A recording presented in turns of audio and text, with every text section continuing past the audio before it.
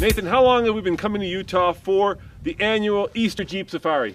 As TFL car, five years. And guess what we stumbled upon today? I know. This is the new Kaiser, baby. This is like from the first year we were here. And since we are here in Moab and since we've got nothing but Jeeps all the time, we're gonna do five days of Jeep. TFL Jeep Week. That's right, baby. We got new ones, we got old ones, we've got classics, and most importantly, we got badass ones. And that is coming up this week on the Fast Lane Car.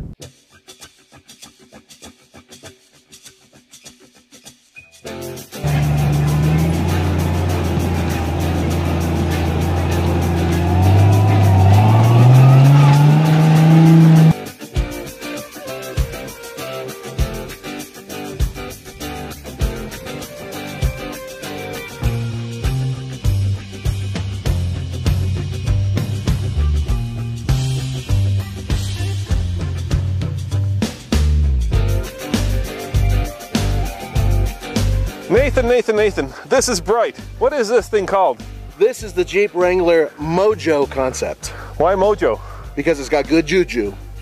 Okay, it's OJ is in Mojo. Oh, yeah, that's Try again.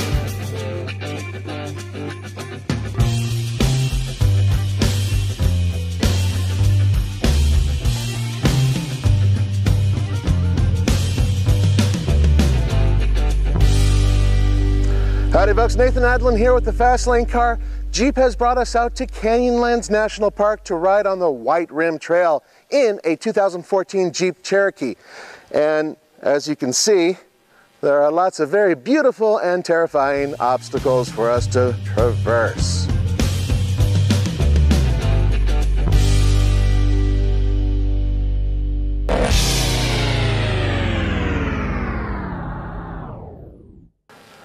I know they call this thing an arch. I still say it's a bridge. And why put the fat guy in the middle of it?